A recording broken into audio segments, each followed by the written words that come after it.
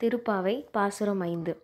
மாயனை மன்னு வடமதுரை மைந்தனை தூய பெரு நீர் யமுனை துறைவனை